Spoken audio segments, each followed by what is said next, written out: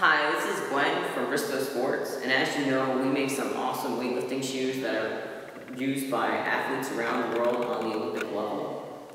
And often I get a lot of questions on, why is this shoe so awesome? Why is it when I go from lifting in a sneaker to a weightlifting shoe, I can automatically lift, you know, maybe 10% more? Well, all the magic happens right here in the heel. And underneath this coating is this, a wood heel. So that's very special.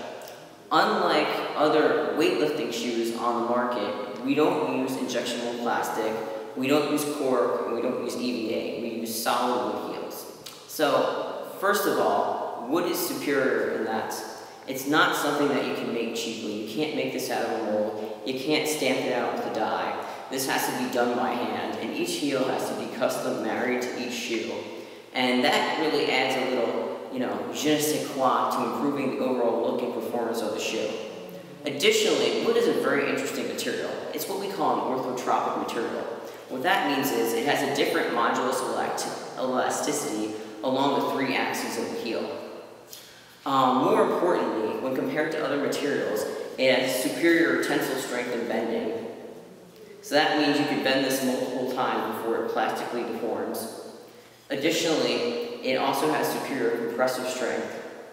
Finally, most importantly, if you're a lifter and you're lifting on a wood platform, like this one over here, you want to lift on a wood heel because it has a better chance of matching the natural frequency of the hardwood platform. And what that does, that gives you an additive frequency response, or potentially additive frequency response.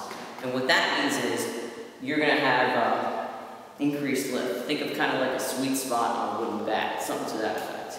So if you have any questions, feel free to contact us at www.ristosports.com. Until then, we're glad to bring you an awesome product.